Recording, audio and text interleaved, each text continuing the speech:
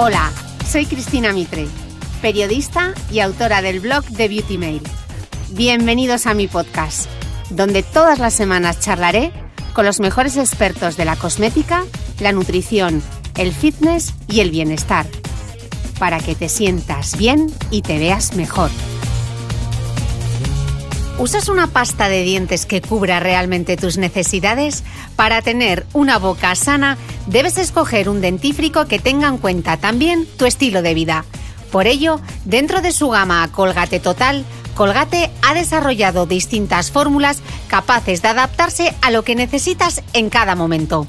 Así, puedes encontrar Colgate Total Advanced Limpieza Profunda, ideal si llevas ortodoncia porque evita que se acumule la placa bacteriana también Colgate Total Advance Esmalte Sano para fortalecer el esmalte y evitar esas manchas que a veces producen el té, el café y las verduras y frutas de colores intensos.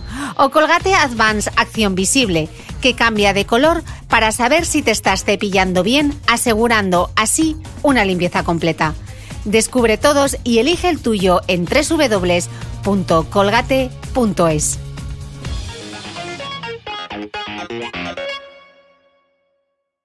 Bienvenidos todos a un nuevo capítulo del podcast y qué ganas tenía de estrenar temporada por fin. Es una pena porque mi invitado de hoy se suponía que nos íbamos a ver en Málaga, lo teníamos todo gestionado para vernos en julio, tomarme allí unas sardinitas y darme una vuelta, pero chica, estas cosas, pues las cosas del coronavirus al final no ha podido ser, pero eh, hemos logrado grabar esta entrevista, yo esta vez desde Gijón y mi invitado desde Málaga, así que estoy muy contenta de poder arrancar la temporada por fin, esta cuarta temporada del podcast de Cristina Mitre y que mi invitado para esta nueva temporada sea Ismael Galancho. Él es experto en nutrición deportiva y entrenamiento personal y autor del libro Requiem por una pirámide, que os recomiendo esta lectura porque vamos a tumbar un montón de mitos nutricionales y sí, vamos a hablar de por qué las dietas fracasan.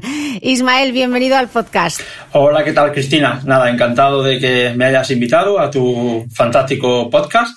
Y bueno, es una pena que no, que no estemos tomándonos un espeto aquí, eh, haciéndolo en directo, pero bueno, las circunstancias son las que son y, y hoy en día, bueno, pues se puede hacer todo online, así que genial.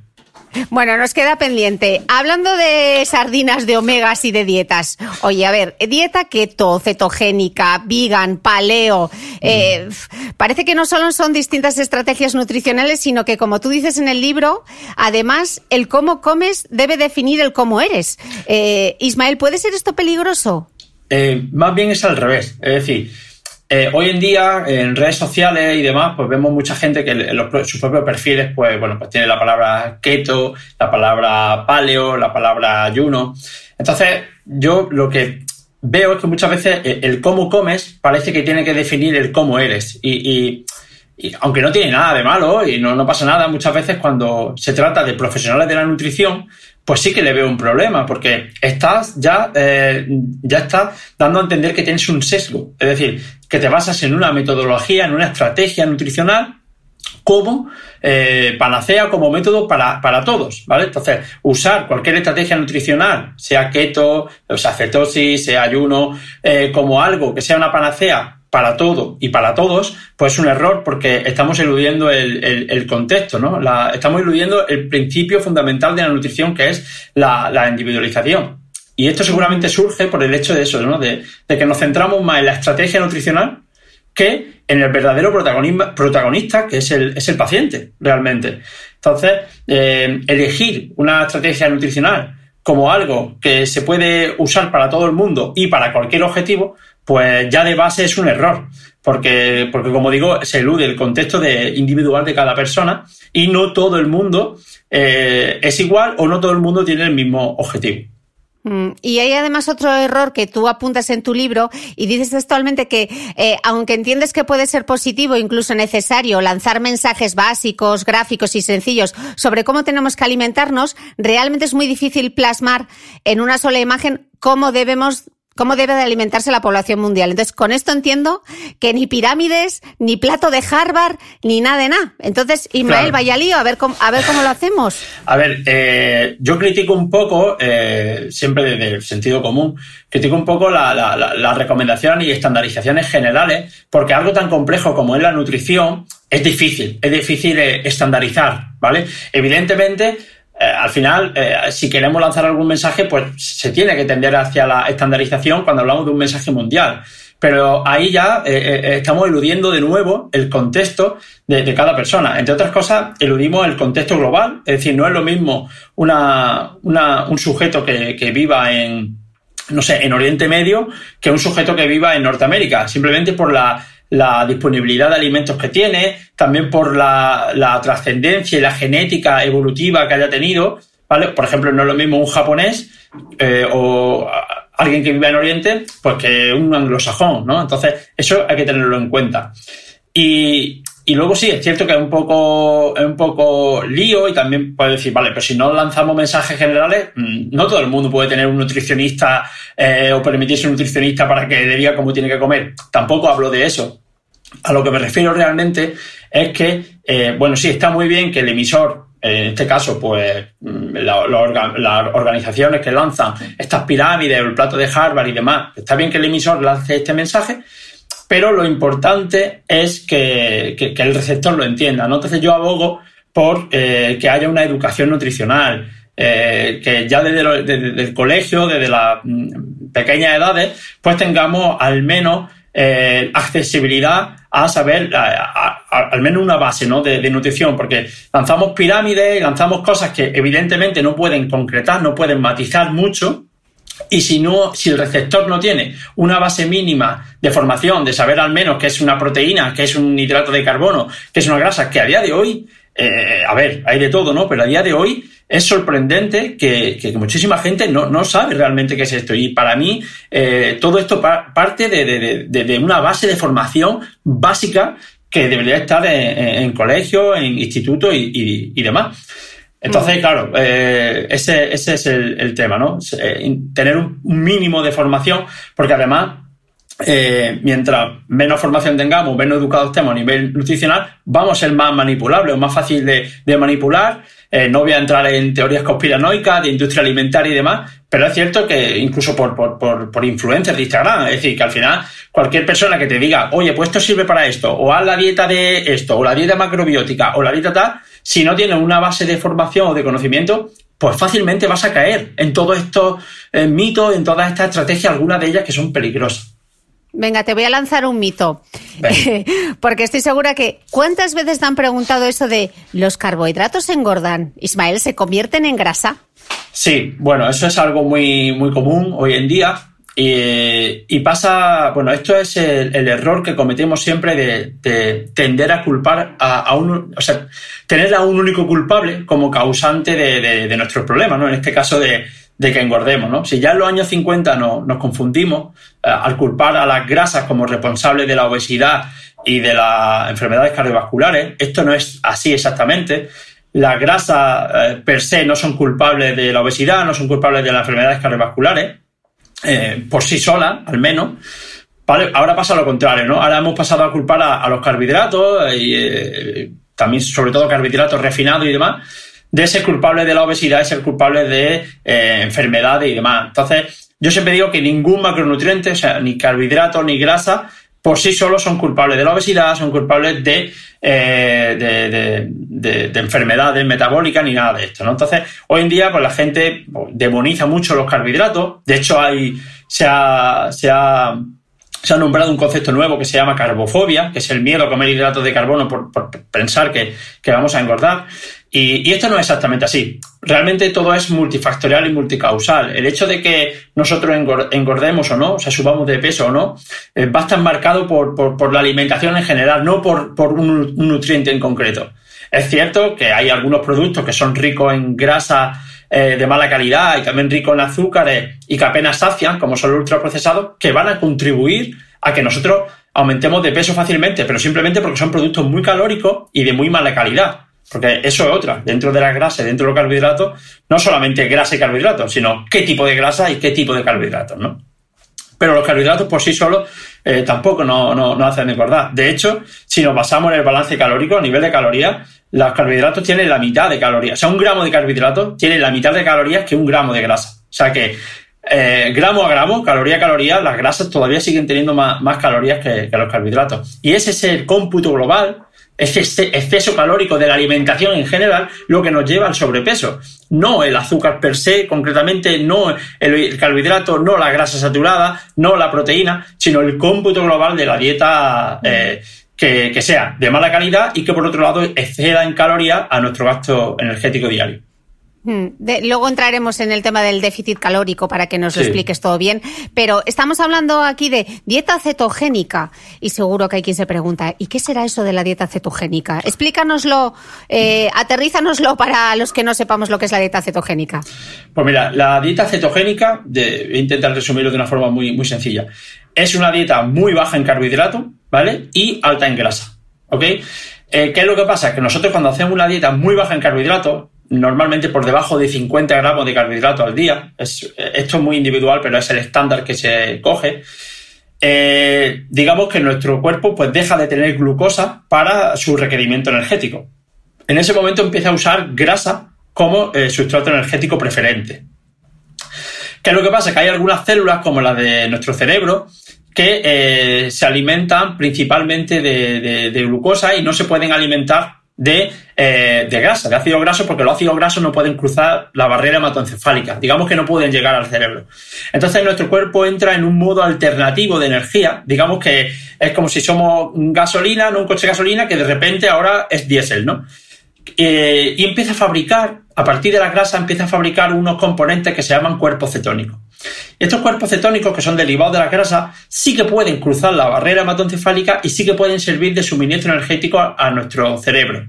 Entonces, a partir de ese momento, cuando se elevan estos cuerpos cetónicos en sangre y empezamos a usarlos como fuente de energía, no solo en el cerebro, sino en, otras células de nuestro cuerpo, como, las células musculares, pues decimos que estamos en cetosis, ¿no? Y esto es una dieta cetogénica, ¿vale? Es un cambio metabólico hacia eh, un sustrato preferente que son los cuerpos cetónicos como fuente de energía. Mm. ¿Y tiene algún efecto adverso? Porque he leído en tu libro eh, eh, la gripe ceto. ¿Qué es eso de la gripe ceto? Sí, bueno, la gripe ceto, como normalmente estamos acostumbrados al, uso de, glucosa como fuente de energía, cuando hacemos este cambio metabólico, este cambio de, sustrato energético, digamos que, nos cuesta un poco acostumbrarnos a él. Es que digamos que nuestro cuerpo, si, si somos un coche gasolina, pues cuando le echas diésel, oye, pues esto, esto ¿qué pasa? Yo no estoy acostumbrado a esto. Entonces tarda unos días en acostumbrarse a, usar esos sustratos energéticos, que son los cuerpos cetónicos, y eh, ese cambio, ¿vale? Hacia el uso de cuerpos cetónicos, digamos que tiene una serie de consecuencias que se llama la gripe ceto. Esto se debe a que, bueno, pues cuando dejamos de comer hidratos de carbono, así de repente, pues perdemos mm, glucógeno y perdemos mucho agua y perdemos electrolitos, minerales. Y entonces eh, estamos como unos días, pues, con fatigados, tenemos eh, irritabilidad, nos podemos notar mareo, incluso calambres musculares. Y esto se debe a eso, ¿no? A esa pérdida de, de, electrolitos, de sales minerales que se da al principio de una dieta cetogénica que normalmente suele durar entre 5 o 7 días y a partir de ahí ya empezamos a acostumbrarnos al uso eficiente de estos cuerpos cetónicos y se suele pasar la gripe ceto. De todas formas, hay medidas para paliar esta gripe ceto, que es simplemente pues, beber mucha agua y también añadir eh, sales minerales, electrolitos a, esa agua. Hmm. Eh, de hecho, estas dietas cetogénicas o bajas en carbos han estado y están muy de moda porque al parecer la pérdida de peso es mm. súper rápido. Pero claro, tú dices que hay un caso curioso en este tipo de dietas y es que aunque eh, la bajada de peso es muy rápida cuando se hace una dieta baja en carbohidratos, tú planteas una pregunta. ¿Significa eso que estás perdiendo grasa? Explícanos esto porque creo que hay mucha gente que todavía tiene mucha dificultad en, en comprender que la pérdida de peso no es igual a la pérdida pérdida de grasa y que el objetivo real de, debería ser perder grasa corporal. Luego entramos en la parte de la importancia del ejercicio de fuerza y tener un buen músculo. Pero explícanos esta diferencia, porque claro, tú ves que tu amigo tal ha hecho la dieta cetogénica y ha perdido 7 kilos y tú te quedas con que es que ha perdido 7 kilos. Exacto. Eh, la dieta cetogénica se, bueno, surgió en los años 20 para tratar la epilepsia, ¿vale? De hecho, es una de las intervenciones nutricionales para tratar la, epilepsia. Pero posteriormente se vio que, se perdía bastante peso haciendo una dieta cetogénica.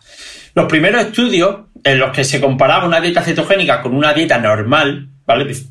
Consumiendo en déficit calórico, pero normal, pues se veía que, la dieta cetogénica nos hacía perder más, más peso, ¿vale? Pero ¿qué es lo que pasa? Eh, como tú bien has dicho, que perdamos más peso no significa que perdamos más grasa, ¿vale? Porque el objetivo debería de ser perder grasa. Porque hay otros tejidos, otros componentes en nuestra composición corporal, como puede ser el músculo, como puede ser eh, glucógeno y agua.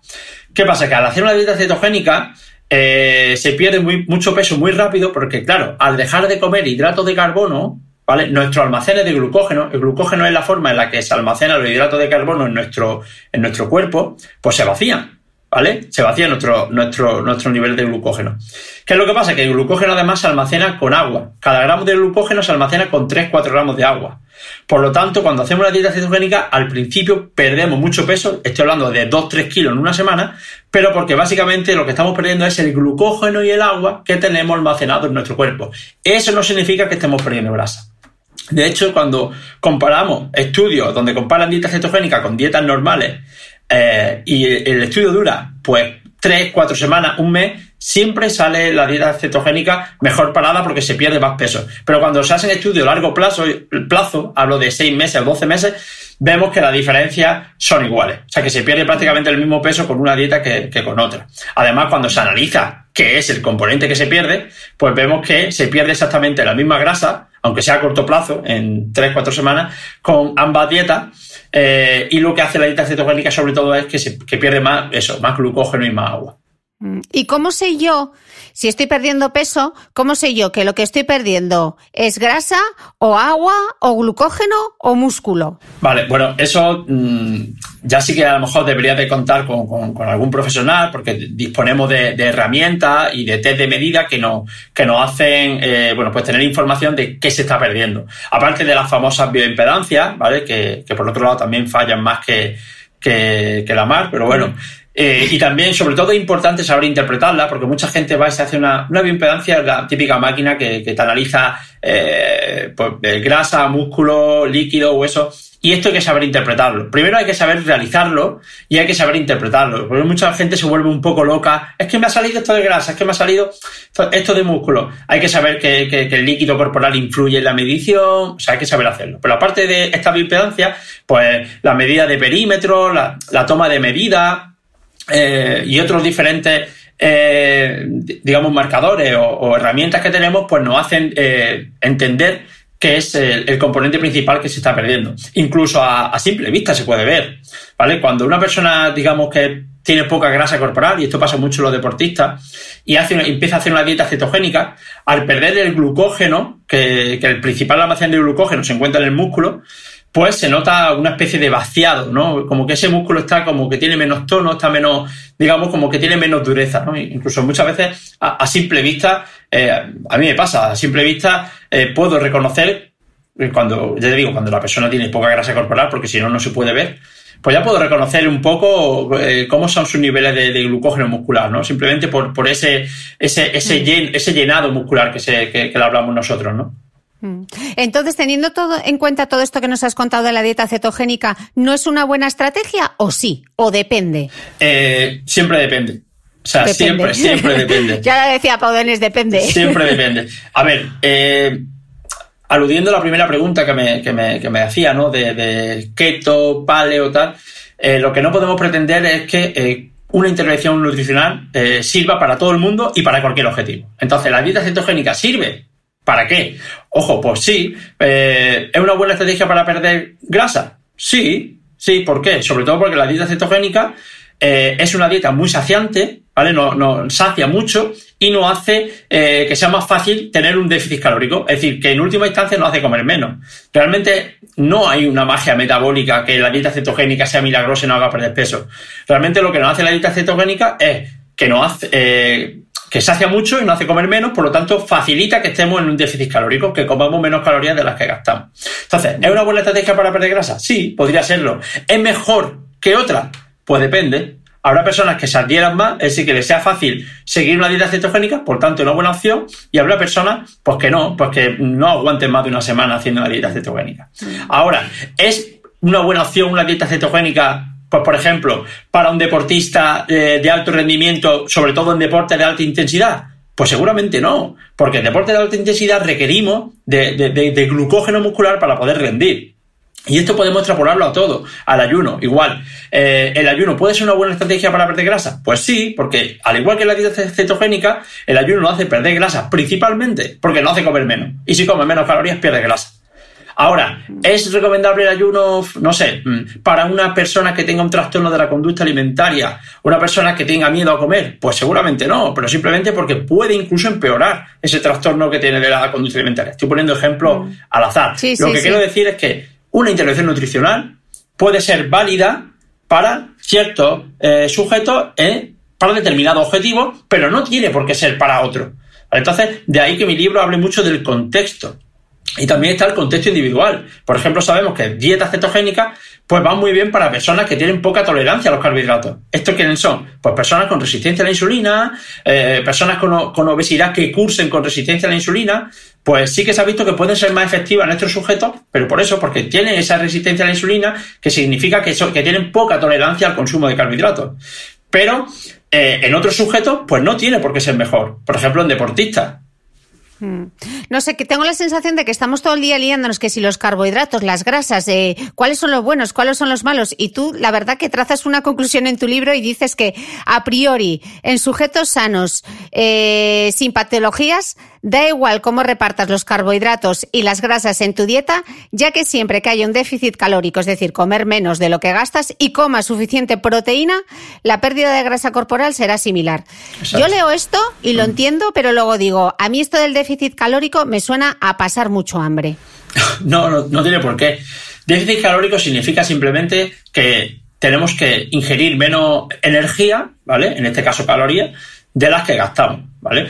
¿Qué pasa? Que todo, eh, que pase hambre o no va a responder un poco de tu contexto. Es decir, si eres una persona sedentaria, que tu gasto calórico en el día, si estás todo el día en el sofá, pues es muy bajo, si quieres eh, inducir un, déficit calórico, tienes que comer muy poquito y seguramente vaya a pasar hambre.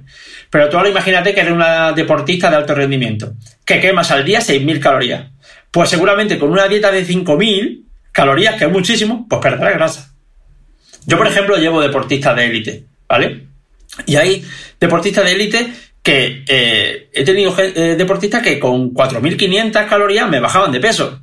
Me bajaban de peso. Entonces, eh, por eso es tan importante el contexto. Entonces, una de las cosas que hay que remarcar es que el déficit calórico, es decir, comer menos calorías de las que se gastan, es una condición sine qua non, no se pierde grasa corporal. Es decir, tiene que estar sí o sí. La forma en la que lleguemos al déficit calórico, pues ya va a variar de la persona en sí. Entonces, ¿Qué tienen en común la dieta cetogénica? ¿Qué tienen en común el ayuno? ¿Qué tiene en común la, dieta mediterránea para bajar de peso? Pues que todas nos favorecen el déficit calórico. Todas nos provocan un déficit calórico, de una manera o de otra. Pero el déficit calórico tiene que estar. Si no estamos en déficit calórico, no se puede perder grasa. Da igual la dieta que haga. Y todos los estudios que comparan una dieta y otra ¿vale? Si el sujeto es sano, porque ya hemos visto que hay contextos como resistencia a la insulina y demás que se pueden beneficiar más de una dieta cetogénica o baja en carbo, pero si es un sujeto sano, no tiene ninguna alteración metabólica ni nada, da igual que y se igualen las calorías y se iguale la proteína, que eso es importante, da igual que la dieta sea alta en carbo o baja en carbo y alta en grasa o baja en, carbo, eh, en grasa. Siempre se va a dar una pérdida de peso similar. Mm. Estás hablando de déficit calórico, calorías, aparece por aquí de nuevo. Mm. Entonces me pregunto yo, ¿tiene sentido esto de contar las calorías o tampoco funciona? No es así como funciona. A ver, sí. El, hecho de contar calorías o no es algo opcional. Si tú puedes contar calorías o no. Yo, por ejemplo, en mí mismo, ¿vale? En, en los pacientes que llevo, evidentemente sí que cuento calorías, pero en mí mismo no cuento calorías. O sea, es opcional contar calorías o no. Pero eso no significa que el balance calórico, es decir, que las calorías no importen. Entonces, si nuestro balance calórico energético es positivo, es decir, si comemos más de lo que gastamos, vamos a engordar, y si comemos menos de lo que gastamos, vamos a adelgazar. Entonces, ¿podemos contar calorías? Sí o no. Pero, pero tenemos que tener eh, muy claro que las calorías, el balance calórico va a ser determinante en el control de peso. Entonces, mm. yo, por ejemplo, no, no, no cuento calorías, pero a lo mejor si me apetece durante una temporada bajar de peso, empiezo a recortar comida, me voy pesando en mi báscula me voy midiendo y voy viendo que voy bajando. Entonces, yo no cuento calorías, no sé cuántas calorías estoy comiendo, pero sé que estoy en déficit calórico. Sé que estoy comiendo menos calorías de las que, de las que estoy consumiendo porque estoy bajando de peso. Y cuando mm. quiero subir peso o quiero subir masa muscular, al revés. Empiezo a comer más, me voy pesando y cuando voy viendo que la báscula va subiendo, pues ya sé que estoy en superávit calórico. Ya sé que estoy comiendo más calorías de las que estoy gastando y por eso estoy, estoy subiendo de peso. Pero yo no, no, no lo cuento, no sé, no sé decirte si como 3.000, 3.500 o 2.500. Entonces, es opcional contar calorías, pero el balance calórico importa. Mm. Dices en el libro que eh, además a nivel de composición corporal eh, da, da, prácticamente igual que el exceso calórico se produzca a través de comida real o a través de comida basura, ya que si ese excedente calórico se vuelve crónico en el tiempo y sumado a otros factores, te llevarán a acumular grasa corporal. Yo te digo que tengo la cara de póker. Sí, claro. Esto, eh... O sea, porque estamos hablando todo el rato de los ultraprocesados y ahora te da igual que sea un ultraprocesado o que te pongas ciego a verjas. No, no, no, no, no, no, no, para nada es igual. No, no, no, no es eso, no es eso, que me, que me matan. No, no, no. Eh, te cuento, te cuento un poco. A veces confundimos el, la, la, el valor energético o la densidad calórica, la cantidad de, de energía o calorías que tiene un alimento, ¿vale? Que algo sea calórico o no, con que algo sea saludable o no. ¿Vale? Entonces, el aceite de oliva es muy saludable, pero es hipercalórico. Los frutos secos son muy saludables, pero son hipercalóricos. El aguacate es muy saludable, pero son hipercalóricos. Entonces, eh, no podemos confundir una cosa con otra. ¿Qué es lo que quiero decir? Pues que, eh, evidentemente, ambas cosas importan. Es decir, tanto el balance calórico, es decir, eh, que estemos en déficit calórico, como digo, es algo sine qua non. Eso sí tiene que dar sí o sí. Da igual cómo sea la alimentación. Pero evidentemente no va a ser igual una alimentación eh, basada en comida real que basada en ultraprocesado. Por salud y porque también va a afectar al propio balance calórico. Me explico. Eh, si nosotros optamos por hacer una, eh, comer saludablemente y comemos comida real y empezamos a alimentarnos pues de, bueno, de, fruta, verdura, frutos secos, carne, tal, pues evidentemente en nuestra dieta pues ya ha mejorado en calidad y es mucho más saludable. Ahora, ¿significa eso que, que, vayamos a bajar de peso? Pues no tiene por qué. Porque si tú, aunque te alimentes de eh, mm, aguacate, eh, carne, eh, pescado, frutas, vegetales, consumes más calorías de las que gastas, no vas a bajar de peso. ¿Qué pasa? Que mucha gente cuando empieza con comida real ve que baja de peso, pero baja de peso porque la comida real sacia mucho más que la comida ultraprocesada. Es decir, si tú te alimentas de comida real, eh, pues te vas a sentir lleno porque es una comida eh, rica en fibra y, rica en nutrientes, te vas a sentir lleno, mucho más lleno que si comes eh, comida ultraprocesada. Porque, pues no sé, cualquier bollería, simplemente con dos bocados que le des, pues ya te estás ingiriendo 600 o 700 calorías, que el equivalente en comida real, pues es un menú entero. Mm. Ahora bien, también tengo gente que me llega y me dice, oye, pues yo como sano y no sé por qué, no bajo de peso. Y digo, bueno, venga, a ver, ¿qué desayunas? Pues mira, yo desayuno por la mañana avena con leche de almendra, unos poquitos frutos secos, una tostada con aguacate y tal y tal, y, un poquito de aceite de oliva. Súper saludable. Digo, sí, súper saludable, pero ahí van 1200 calorías solo en el desayuno. Entonces, lo que quiero decir y lo que quiero que la gente se quede es que la calidad de los alimentos es fundamental, evidentemente, por salud y porque además, eh, mientras más real sea la comida, pues más nos vamos a saciar y vamos a tener todo, todos los micronutrientes, vitaminas y minerales, pero que el balance energético tiene que darse. Es decir, mientras no estemos en déficit calórico, da igual la dieta que hagas, no vas a bajar de grasa. Sea comiendo aguacate, avena y semilla de chía, o sea comiendo eh, donut y cereales azucarados. Obviamente, la salud sí que va a variar. Y obviamente, eh, comiendo, aunque esté en déficit calórico, comiendo cereales y donuts, porque hay gente que dice, vale, pues si yo estoy en déficit calórico, pero solamente como donuts, pues bajo de peso, sí va a bajar de peso, pero va a bajar masa muscular y tu salud va a empeorar drásticamente. Mm. Eh, dices en el libro que el problema principal que hace que aumente el sobrepeso y la obesidad en el mundo es que comemos más calorías de las que gastamos. Y entonces yo pienso que la solución aquí sería fácil, comer menos y gastar más calorías. O sea, hacer mucho más ejercicio. Pero parece que esto tampoco es así de sencillo, ¿no? Exacto, eso es exactamente lo que acabo de comentar. Es una condición, es decir, digamos que es una premisa, que gastemos más calorías de la que ingerimos para bajar de peso, esto es una premisa que se tiene que dar. Pero si nosotros lanzamos el mensaje de, pues es fácil, come menos y hazme, y ejercicio, eso no funciona, eso no es exactamente así. Primero porque el mensaje es, muy simple y no es suficiente para entender que eh, no solamente eh, tenemos que hablar de, la alimentación, sino que además tenemos que hablar de estrés, tenemos que hablar de, otros componentes. No solo por eso, sino porque además eh, tenemos que atender a la calidad de la dieta, ¿vale? o sea, de qué está compuesto nuestra dieta, ¿vale? Para, para que luego digamos, ese balance calórico se, ve representado. Lo explico para que se entienda. Comer comida de calidad, comer comida real, ¿vale? No solamente es más saludable por, sí sola, sino que además va a hacer que en, última instancia comamos menos, ¿vale? Comamos menos calorías. Entonces, si tú siempre dices, come menos y, y gasta más, oye, pues a lo mejor puedo comer menos, pero sigo teniendo una dieta basura. Entonces, a largo plazo, esto lo que va a hacer es va a provocar hambre, va a provocar problemas que van a hacer que al final, pues, pues termine metiéndote un atracón o termine saltándote la dieta, que es lo que pasa siempre. Sin, embargo, si nosotros hablamos de hábitos nutricionales, hablamos de cantidad, pero también de calidad de la dieta y la conseguimos instaurar en, los hábitos de vida de, una persona, pues la pérdida de peso se va a dar sí o sí. Primero porque, eh, como he dicho antes, al ingerir comida de calidad vamos a, eh, digamos, a sentirnos más saciados y vamos a comer de menos. Y además que eh, buscando ese déficit calórico, tarde o temprano, pues se va a dar esa pérdida de, peso. Entonces, yo lo que, lo que quiero decir es que ambas cosas son importantes. La cantidad y la calidad de comida. Entonces, tenemos que jugar con ambos componentes y además cada uno de ellos se va a retroalimentar eh, en, el otro, ¿no? Porque la comida de calidad va a hacer que comamos menos, por lo tanto vamos a ingerir menos calorías. Una pausa y volvemos. Thank.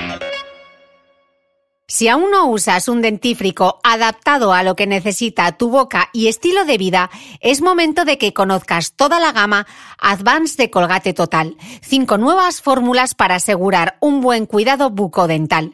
Como Colgate Total Advance Limpieza Profunda, que combate la placa entre los dientes y en todos esos espacios a los que resulta difícil acceder.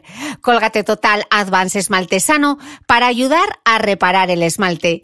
Colgate Advance Acción Visible que cambia de color para que te cepilles correctamente y también Colgate Advance, aliento puro y encías sanas. Descubre todos y elige el tuyo en www.colgate.es. Muchas gracias a mi mecenas Colgate por ayudarnos siempre a cuidar de nuestra salud.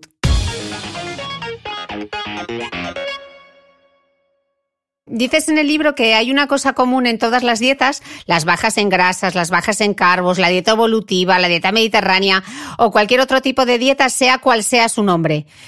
Y lo que tienen en común es que todas fracasan. Exacto. Ismael, hemos sido engañados. Llevamos años siendo engañados. Sí, es que, claro, una de las cosas que tienen en común, y eso es evidente, la dieta fracasa. Hoy en día, eh, eh, la dieta fracasa. Entonces, eh, no podemos seguir lanzando el mismo mensaje que tú decías antes, ¿no? De por qué se sigue diciendo que hay que comer más, comer menos y gastar más, ¿no? es un mensaje muy simplista que vemos que no funciona. La dieta fracasa. ¿Por qué fracasa la dieta? Pues precisamente porque hablamos de dieta. Hablamos de intervenciones preestablecidas. No hablamos de hábitos. Entonces, en el momento que hablamos de, intervenciones preestablecidas, y me da igual que sea dieta mediterránea, y me da igual que sea la dieta de alcachofa, o me da igual que sea dieta cetogénica, ¿vale? Estamos eh, eludiendo el contexto de la persona y no estamos atendiendo a que deben de ser hábitos. Y para crear un hábito en una persona, tenemos que eh, personalizar e individualizar esa, esa, esa, esa dieta, ¿no? O esa planificación nutricional. Entonces, crear adherencia es la base para eh, tener o cumplir objetivos a largo plazo. Yo puedo, un ejemplo, yo te puedo hacer la mejor dieta del mundo, la, más efectiva para, Cristina, para que baje de, grasa. Y ahora te digo, pues vas a desayunar eh, mejillones al vapor con acelga y con tal. Y vas a almorzar, eh, no sé, algo que no te guste nada. Evidentemente, puede ser la dieta más efectiva del mundo, que eso a, ti no te va a generar adherencia. Tú no puedes incorporar eso como hábito de vida porque es algo que, que, no, que tú no lo llevas bien, no te gusta ese, ese tipo de alimentación. Por lo tanto, una dieta, por muy bien planificada que esté, si no crea adherencia en el paciente, es humo, no sirve de nada. Entonces tenemos que hablar de hábitos, ¿no? Y de ahí la importancia de la individualización y de ahí la importancia de que mensajes generales como son la pirámide y demás, bueno, pueden estar bien, pero eh, siempre, siempre, siempre van a ser equivocados en, algún, en alguno u otro punto. Mm, tú lo resumes en, en, cuatro principios que, aunque los hemos ido mencionando, me gustaría que, sabes, que sacásemos las conclusiones. Tú hablas de lo que es importante es el contexto, la individualización, la coherencia y el objetivo y la adherencia. Entonces, estos cuatro mm. claves, eh, vamos a aterrizarlas un poco para que la gente lo tenga, eh, se lo quede como conclusiones. Vale. Eh, yo elaboro mi propia pirámide en el libro, y partiendo del contexto, ¿no? diciendo que, a la hora de, planificar o de saber cómo debemos de comer cada persona, pues tenemos que entender nuestro contexto. El contexto lo divido en dos, el contexto global y contexto individual. El contexto global sería, oye, ¿quiénes somos? ¿De dónde venimos? ¿Cuál es nuestra tradición nutricional? ¿Somos europeos?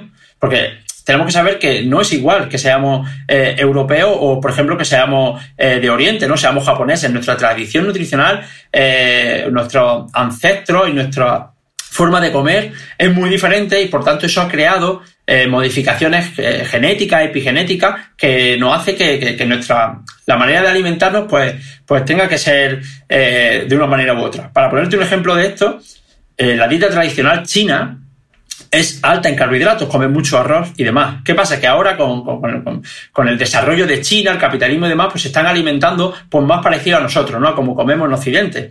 Y está subiendo muchísimo las tasas de obesidad. Antes, cuando comían un 70% carbohidratos, eh, eh, arroz y demás, pues estaban mucho más saludables y más delgados que ahora que están comiendo, eh, incorporando otro tipo de dietas, ¿no? Entonces, eso tenemos que, partir de ahí, ¿no? El contexto global. Luego está el contexto individual, es decir, cada persona. No es lo mismo eh, una persona que sea pues, deportista, que está todo el día moviéndose, todo el día haciendo ejercicio, o que una persona sedentaria, o que una persona que tenga patología. Entonces, ahí tenemos que adecuar la dieta en función de eso también.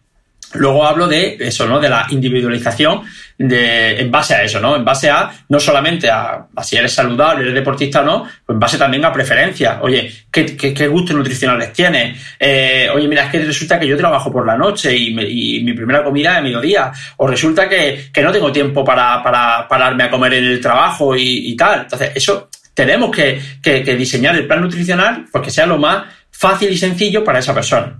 Luego tiene que estar en coherencia con el objetivo que buscamos. Porque, pues, como vuelvo a, lo que hablábamos antes, si el objetivo es perder grasa, pues tiene que estar déficit calórico, sí o sí. Entonces, tenemos que tener una, buscar una, o sea, plantear una planificación nutricional que mm, conlleva un déficit calórico. Si el objetivo es ganar masa muscular o eres un deportista de élite y buscas rendimiento, oye, pues tenemos que incorporar energía y darle comida a esta persona, ¿no?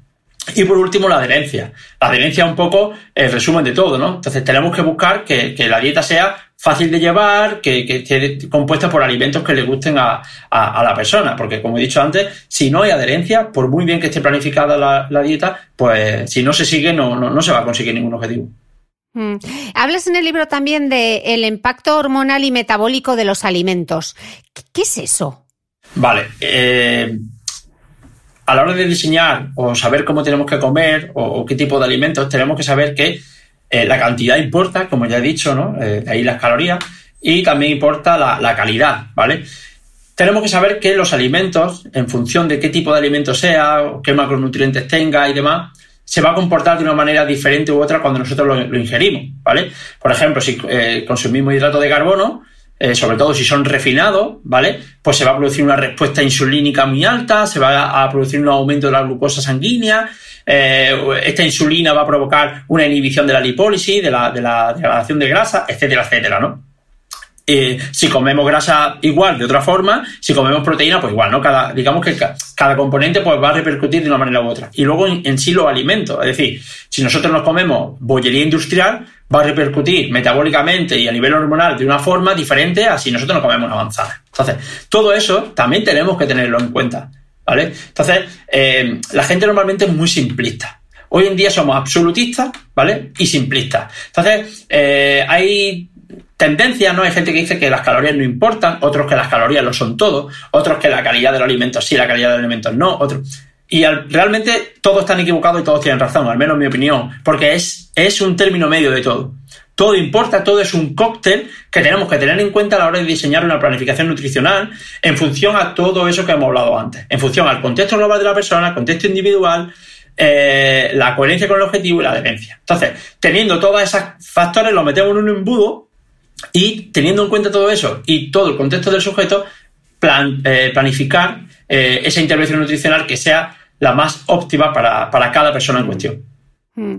Eh, yo estoy segura que quienes están escuchando están diciendo sí, sí, sí a todo lo que dice Ismael, porque todo tiene como mucho sentido, pero al final uno termina el verano, se le ha ido la mano, le aprieta el pantalón y mm. dice, vale, eh, las dietas no funcionan, pero a mí me aprieta el pantalón. Y ahora yo, Ismael, ¿por dónde empiezo?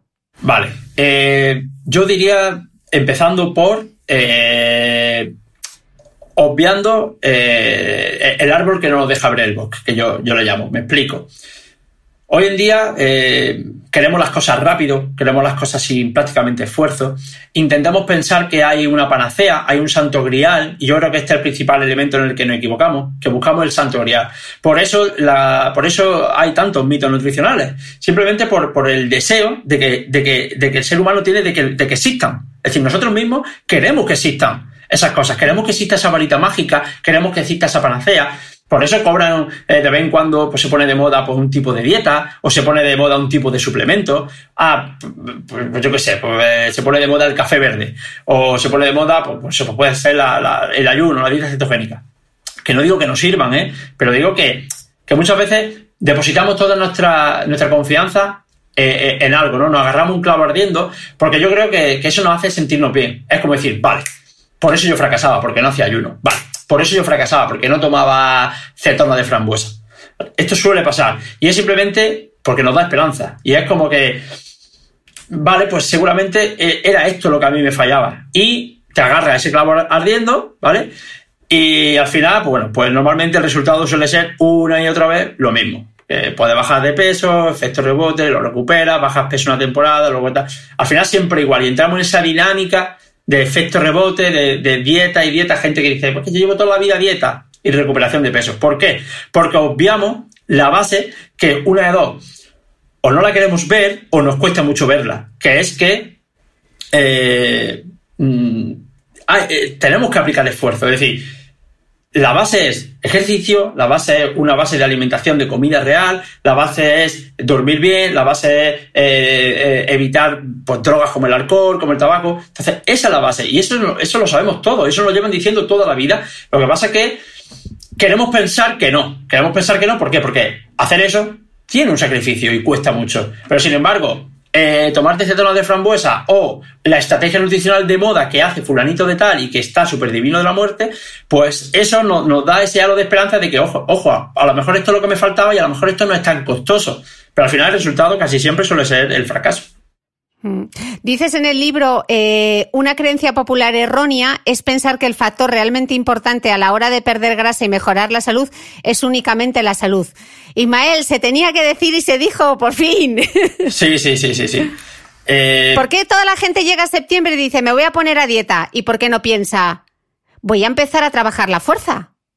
Pues, pues sí, bueno, eh, cuando hablamos de composición corporal, hablamos de salud, hablamos de peso, eh, bueno, normalmente hablamos, se piensa siempre en la nutrición, pero se nos olvida el otro gran componente, ¿no? que yo hablo, lo menciono de, Big Two, aunque hay más componentes, evidentemente, al final lo menciono en el libro, ¿no? el estrés y demás, pero es el ejercicio. Y el ejercicio es fundamental. De hecho, es uno de los determinantes fundamentales para que haya, un, haya éxito o fracaso en, la dieta, o también el ejercicio va a determinar eh, cómo debemos de, alimentarnos, ¿vale? Porque eso es lo que te decía antes. Yo, por ejemplo, tengo deportistas de élite que pues, tienen un gasto calórico de 6.000 o 7.000 calorías al día, ¿vale? Y eh, bueno, en estas personas incluso a veces eh, hay, que, hay que recomendarle algún ultraprocesado.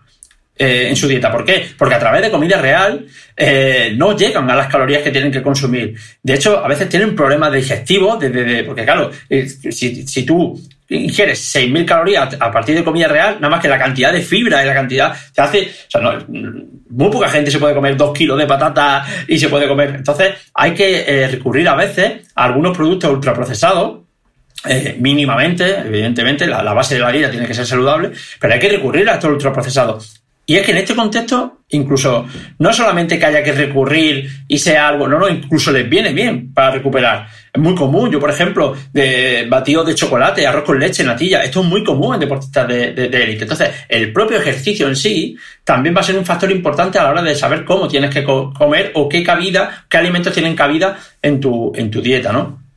Y dentro ya, hablando del ejercicio, eh, uno de los componentes fundamentales del ejercicio es el entrenamiento de fuerza. Entrenamiento de fuerza, hablamos de entrenamiento con carga, entrenamiento con, con, con, pesa o, bueno, la carga va a depender un poco del nivel de la persona, porque si hablamos de una persona de 80 años, pues a lo mejor es suficiente con que se levante y, se siente en la silla, ¿vale? Pero al final es resistencia muscular, que, que, haya contracción muscular y haya levantamiento de, de, carga. Este entrenamiento de fuerza, que hace unos cuantos años estaba relegado solo a, los machacas del gimnasio, ¿no? Y a, y a, y a, culturistas y demás, Hoy en día sabemos que es la base de cualquier entrenamiento y sea cual sea el objetivo. Sea el objetivo perder grasa, mejorar la salud o, ganar masa muscular, sea deportista, no lo sea, da igual la edad que tenga, sea un niño o sea un anciano, que entrenar fuerza debe ser eh, un componente sí o sí que debe de estar en nuestro día a día, en nuestra vida.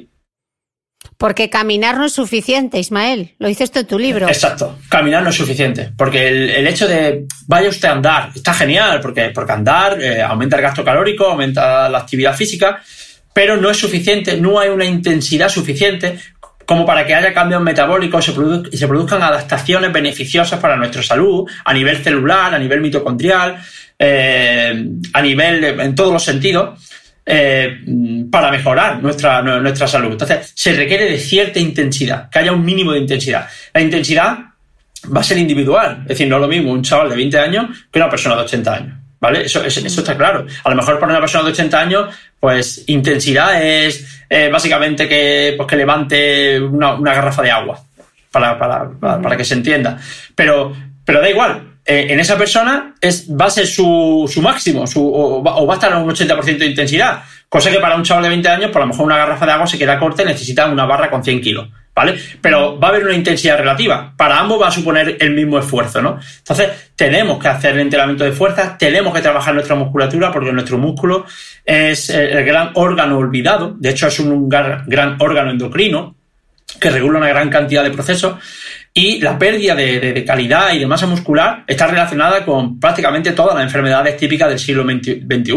Eh, está, relacionada con, diabetes, está relacionada con obesidad, está relacionada con cáncer, con enfermedades cardiovasculares, enfermedades autoinmunes, etcétera, etcétera, etcétera. De hecho, tú dices en el libro que estamos obsesionados con la grasa, pero resulta la paradoja que tenemos más grasa, pero sobre todo menos músculo que nunca en la historia evolutiva del ser humano. ¿Qué consecuencias tiene esto? Exacto. Uno de los problemas que hay hoy en día es que no, nos seguimos centrando solo en la grasa corporal y cuando uno va al médico o bueno, va a un profesional siempre le dice, bueno, debería usted de perder peso, debería usted de perder grasa. Pero no evaluamos la masa muscular y la masa muscular se correlaciona más con nuestro estado de salud que la propia grasa. De hecho, sujetos con poca masa muscular, eh, y esto hay multitud de evidencia científica, en el libro pongo bastante estudio, eh, personas con menos poca masa muscular tienen mayor riesgo de enfermar y mayor riesgo de muerte eh, que otras personas que tengan más masa muscular, pero independientemente de la grasa. O sea, da igual la grasa que tengas, que tenga mucha o poca, que lo que se correlaciona en mayor medida con tu estado de salud y con el riesgo de enfermar y el riesgo de mortalidad es tu masa muscular. Evidentemente la grasa también, pero sobre todo la masa muscular. Entonces, es fundamental que cuidemos y trabajemos esa, esa, esa, masa muscular. Pensamos que el tejido muscular, pues simplemente nos sirve para movernos, para, para funciones de protección, de, de, de, de, contracción, de estructura, pero sin embargo no. El tejido muscular, como digo, es un órgano endocrino y aparte es el principal almacén de glucógeno, como he dicho antes. Por lo tanto, regula, regula eh, la homeostasis de glucosa, que se llama, que nuestra glucosa eh, sea correcta. De hecho, la resistencia a la insulina, que es uno de los problemas típicos del siglo XXI, que nos lleva a una alteración de la, de la homeostasis de glucosa en última instancia, es uno de los principales factores que está involucrado en casi todas las enfermedades típicas del siglo XXI. Y eh, la principal y mejor forma de mejorar esa resistencia a la insulina es el ejercicio físico. ¿Vale? Y sobre todo el entrenamiento de fuerza, porque al trabajar el, músculo, digamos que este, este, músculo capta glucosa dentro del músculo y eh, mantiene la homeostasis de glucosa sanguínea eh, perfectamente. Entonces, mm. eh, es fundamental trabajar el tejido muscular para que, para que nuestra homeostasis de glucosa y esa resistencia a la insulina pues no se produzca. Mm, yo creo que les hemos convencido a quienes, a quienes nos están escuchando ahora.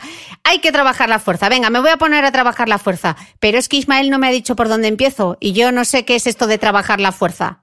Eh, a ver, yo eh, recomiendo que si nunca se ha entrenado fuerza y demás, fue que se acuda a un profesional. A un profesional, me da igual que sea un entrenador personal, que vaya a un gimnasio, a cualquier profesional del ejercicio físico, eh, sí que les recomiendo porque, bueno, al principio sí que puede ser un poco dificultoso, sobre todo para aprender la técnica eh, de ejecución de ejercicios, para aprender un poco la base, ¿no? Al igual que hablaba antes de que debemos de tener una base de, educación básica en, nutrición, pues también un poco en, ejercicio y, en, proposición y, en movilidad, ¿vale? Entonces, para al menos aprender eh, la base, yo sí que recomiendo acudir a un profesional del ejercicio físico y luego ya más adelante, pues bueno, pues sí que podemos eh, quizás pues por nuestra propia cuenta eh, hacer nuestros propios entrenamientos. De hecho, se puede hacer un entrenamiento de fuerza perfectamente en casa ahora que hemos pasado la cuarentena, casi con poco material, con una goma y poco más, se puede, se puede hacer un, un buen entrenamiento que sea suficiente al menos para estar saludable. Luego otra cosa que mm. busquemos objetivos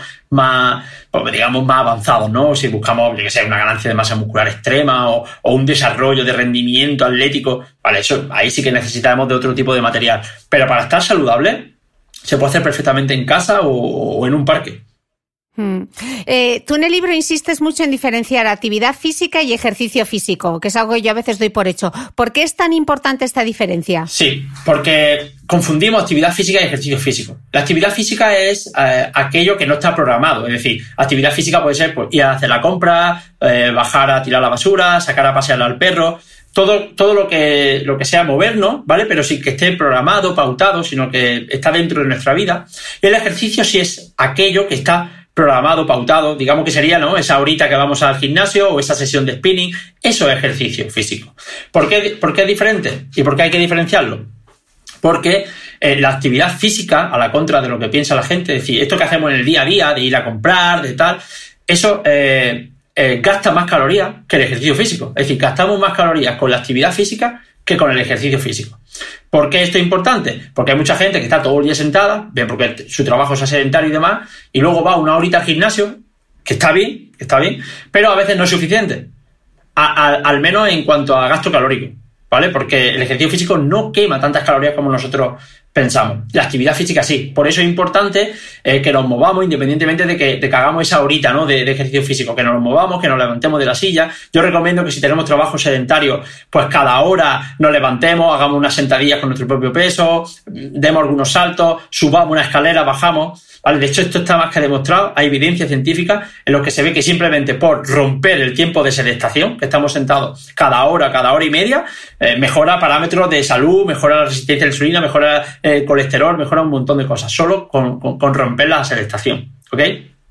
Mm. Y a la contra, también tenemos gente que hace mucha actividad física, bien, porque imagínate, por una persona que trabaje para correo, una persona que esté todo el día andando, pero no hace ejercicio. Esto está muy bien, porque su gasto calórico es muy alto, porque está andando mucho. Pero, como he dicho antes, andar no es suficiente. Hay que ejercer cierta intensidad o, o cierta carga de trabajo que eso no lo va a dar el ejercicio físico. Por tanto, la combinación de ambas tiene que dar, tienen que estar, tienen que darse en nuestro día a día. Mm, entonces queda claro que para perder grasa ya sabemos que es clave generar un déficit calórico, reduciendo esa ingesta calórica y o aumentando el gasto calórico. Mm. Entonces, mi pregunta es, ¿significa esto que simplemente creando un déficit calórico con dieta y ejercicio cardiovascular ya perdemos peso? La clave está en, tú lo has dicho, perder peso. Sí, vas a perder peso. Ahora, ¿vas a perder grasa y vas a mantener la masa muscular o mejorar la masa muscular? Pues ya depende, porque si solamente haces ejercicio cardiovascular, no le estás dando un motivo a tu cuerpo para que mantenga o mejore la masa muscular. Por lo tanto, peso sí vas a perder, pero a lo mejor estás perdiendo masa muscular, cosa que no te interesa. Entonces, hay que diferenciar muy bien perder peso con perder grasa. Entonces, eh, me voy a poner un ejemplo. Eh, Kepner, en 1975, hizo un estudio en el que cogió a 106 sujetos con obesidad y los sometió a una dieta a base de eh, arroz, fruta, eh, azúcares, prácticamente comían carbohidratos. ¿Cuál fue el resultado del estudio? Ah, hicieron algo de ejercicio, ¿vale? Cardiovascular. Entonces, se alimentaron solo de carbohidratos y eh, hicieron ejercicio físico. ¿Cuál fue el resultado del estudio? Pues que perdieron una media de 60 kilos de peso. ¿Vale? Entonces, ¿los carbohidratos engordan? Bueno, porque se lo digan a Kepner, que esos sujetos comían solo carbohidratos. Entonces, ¿los carbohidratos engordan? Engordan en un contexto de dieta en el que estemos en superávit calórico. Pero, estando en déficit calórico, da igual los carbohidratos que comas, que no vas a engordar. De hecho, vas a perder peso. Aquí se vio en este estudio, ¿no? Y además mejor, mejoró, mejoró la salud, mejoró el colesterol, mejoró los parámetros de, resistencia a la insulina de estos sujetos con obesidad. ¿Vale? Entonces podemos decir, joder, está genial. Pues aquí vemos dos cosas en este estudio. Una, que estando en déficit calórico, da igual como sea la dieta, vas a perder peso y, se alimentaron de azúcar y carbohidratos y demás, y además hicieron ejercicio, por lo cual más déficit calórico, ¿vale? Pero, ¿qué pasó? Que, se, que perdieron mucha masa muscular.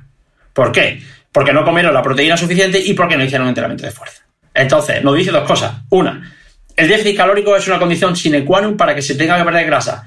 El cómo esté compuesta la dieta pues ya va a depender del sujeto en sí y evidentemente de que perdamos grasa y no masa muscular. Y dos, que eh, se requiere de ingesta de proteína y se requiere de entrenamiento con carga para al menos mantener la masa muscular en un proceso de pérdida de grasa. Conclusión, que hay que hacer de todo. Exacto. esto, es más, esto es más complejo de lo que parece. no eh. vale con un suplemento mágico. Exacto. ni, ni me quito los carbos, ni me quito las grasas. Es un eh, compendio de cosas, ¿no? Es un poco, claro, es un poco complejo, pero partiendo porque cada persona es un mundo y, hablo, y, vuelvo a aludir al contexto, ¿no? Entonces, no es fácil. De hecho, la nutrición es, algo muy complejo. Intentar simplificarla, pues siempre pues va a ser un error. De una manera u otra vamos a, caer en, una simplificación, en un, error, eh, al menos parcialmente. Eh, evidentemente no todo el mundo se puede permitir un nutricionista, entonces tenemos que lanzar mensajes estandarizados. Los mensajes estandarizados que yo, que yo diría aquí, y, bueno, me estoy echando piedras sobre mi propio tejado porque estoy en contra de esto, por el contexto de cada persona, pero eh, bueno, al final es intentar comer lo más natural posible, comida real, comida sin, sin, etiquetas, comida de mercado, ¿vale? Eso es fundamental. Intentar asegurar una ingesta de proteína que sea, que sea mínima, ¿vale? Al menos intentar estar en unos rangos de proteína que sean adecuados para, nuestra, salud, nuestra salud y para, y para nuestra masa muscular, ¿ok? Evitar todos los que sean alimentos ultraprocesados, ¿vale? Tampoco hay que, hay que ser extremista, no pasa nada porque de forma puntual pues nos comamos algún ultraprocesado, que yo siempre abogo por, por, por, los crisis, ¿no? Por, no polarizar y no ningún extremo, que incluso puede ser perjudicial para nuestra salud mental y eh, eliminar estos ultraprocesados, o al menos reducirlos bastante, y luego hacer ejercicio y eh, hacer entrenamiento de fuerza. ¿Vale? Estos son, eh, son componentes fundamentales en nuestro estilo de vida. Luego, además, debemos de sumarle, pues, dormir bien, intentar tener buena salud mental, gestión del estrés, etcétera, etcétera, que también son pilares fundamentales que van a repercutir en la composición corporal, que no se mm, tienen en cuenta. Sí, de esto quería hablarte justamente, porque del estrés y de la falta de sueño, porque parece que no dormir engorda, ¿no? Eh, a ver, cuando nosotros tenemos una restricción crónica, esto no significa que porque una noche no durmamos vayamos a engordar, pero cuando hay una restricción crónica del sueño, y esto se ve en estudios donde hay eh, en, sujetos que tienen trabajo por turno o que duermen menos de, de seis horas, se produce una, serie de, alteraciones en nuestro cuerpo, se produce resistencia a la insulina, eh, se eleva alguna hormona como el cortisol, y este cortisol pues eh, provoca no solamente la pérdida de masa muscular a largo plazo y, también la ganancia de grasa, sino que además eh, aumenta nuestra apetencia por, por comida basura. ¿Vale? De hecho, el cortisol, una de las cosas tan fabulosas que tiene es que puede aumentarnos nuestra, nuestra, nuestra, esta, nuestra apetencia por comida hiperpalatable, por comida, comida basura. Entonces, eh, entre las alteraciones metabólicas que se producen por una, por una falta de sueño crónica eh, y también hormonales, también a nivel de inflamación y demás, pues a largo plazo puede llevarnos a, eso, a, una, a, que se altere nuestra composición corporal y que aumentemos nuestros niveles de, grasa corporal y eh, empeoremos nuestra masa muscular. Al igual que ocurre con el estrés. El estrés, digamos que pasa una cosa parecida. El estrés crónico, ¿vale? Que hay que diferenciar esto, no el estrés agudo, el estrés crónico, eh, igual, eleva los niveles de cortisol, eh, eh, eleva niveles de catecolamina y todo esto a largo plazo hace que, empeore nuestra composición corporal de base eh, no hace retener líquido, no hace ganar grasa, sobre todo a nivel visceral y abdominal, no hace perder masa muscular, empeora nuestra salud, aumenta la resistencia a la insulina, etcétera, y además eh, no, nos produce eso, ¿no? Esa, esa sensación de, querer, de querer comida hiperpalatable, comida dulce. Esto es lo típico, ¿no? Que se ve en las películas, que cuando alguien está deprimido, pues se, coge un, helado de dos kilos, ¿no? Y empieza a comer, ¿no? Para, para, digamos, compensar ese malestar, ¿no? Pues sería un poco, un poco esto. Ismael, a mí en, mis entrevistas me gusta siempre pedirles a mis invitados que, resuman su intervención con un titular, Primero voy a resumir yo con un titular que he leído en tu libro porque hay una frase tuya que me encanta y dices en el libro, eh, culpar a los carbohidratos o a las grasas del sobrepeso, obesidad y enfermedades metabólicas es algo como los pantalones de campana, que cada 20 años o así vuelven a estar de moda. Yo me quedo con esta conclusión, pero me gustaría que tú nos, nos dejases un, un pequeño resumen. Sí, bueno, básicamente eh, el libro, a mí cuando me preguntan de qué va el libro, va de contexto, realmente. creo que la, nutrición es como telón de fondo, o, la pérdida de grasa y la mejora de la salud como telón de fondo, pero habla un poco de eso, ¿no? del contexto y hablo también un poco de, evitar los absolutismos. Hoy en día, en redes sociales y demás, eh, es incluso preocupante, ¿vale? Porque se nos olvida que el protagonista es el paciente, ¿vale? Y, y nos centramos en la intervención per se, defendemos a capa y espada eh, intervenciones nutricionales como si fuesen panaceas para, para, para todo. Eh, caemos en ese absolutismo de pensar que, que el todo o nada.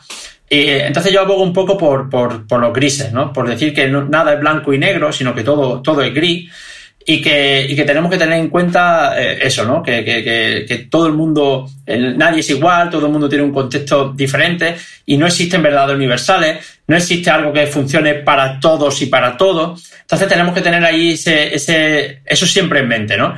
Y, y, también hago una pequeña crítica a todo esto, ¿no? A todo lo que hay en redes sociales, a todos los mitos nutricionales que hay, a, a ese maniqueísmo nutricional que yo llamo, ¿no? O ese fundamentalismo nutricional, ¿no? Que hay gente que, que incluso se ofende, ¿no? Si no, si no comes como, como ellos comen, o si, o, que defiende a capa de espada como si fuese una religión su forma de, comer, ¿no? Y por eso decía que, parece que, el cómo comes, pues tenga que, simbolizar el cómo piensas, y, y, no tiene por qué ser así, ¿no? Entonces yo abogo un poco por sentido común, ¿vale? Yo hablo eh, sentido común en nutrición, porque muchas veces da la sensación de que vamos hacia atrás, de que estamos involucionando, en vez de ir mejorando y aprendiendo más cosas, en base, a lo que nos dice la ciencia, que es donde nos tenemos que basar. De hecho, mi, mi libro, evidentemente, bueno, yo eh, investigo y tengo alguna publicación científica y, está, hay más de 200 referencias en el libro. Eh, y dejarnos de, de, datos anecdóticos, del a mí me funciona, porque todo eso no deja de ser, pues, eh, no deja de ser una anécdota y no deja de ser eh, algo en lo que no podemos basar la alimentación. Entonces, hablo un poco de eso, ¿no? Y quiero, dejar ese mensaje de sentido común, poco de sentido común de, y evitar ese absolutismo, ¿no? Sentido común y información para tener espíritu crítico, que es un poco lo que queremos en este podcast. Así que darte las gracias, Ismael, por regalarnos a todos eh, tu tiempo. Te quiero invitar a una segunda entrevista porque yo sé que tú eres un experto en suplementación y todo el mundo me pregunta todo el rato, pero ¿funciona el omega? ¿Pero funciona la melatonina? ¿Hay que tomar colágeno? Pero esto lo dejamos para una segunda intervención porque espero que vuelvas a este podcast. Ha sido un lujo y un honor estrenar contigo esta cuarta temporada, así que millones de gracias. Ismael. Nada, gracias a ti, Cristina. Y ya me iba a lanzar hablando de suplementos, pero bueno, lo dejamos para, la siguiente entrevista. Lo, dejamos para el siguiente y así lo dejamos con un poquito de intriga. Incluso podemos hacer un tercero sobre el ayuno, que lo hemos dejado un poco ahí en la nebulosa. Sí, de, de hecho, del ayuno seguramente escribo un libro aparte. Pues de ello volveremos a hablar en el podcast. Muchísimas gracias, Ismael. Nada, gracias Muchísimas gracias a vosotros y nos escuchamos de nuevo el próximo domingo.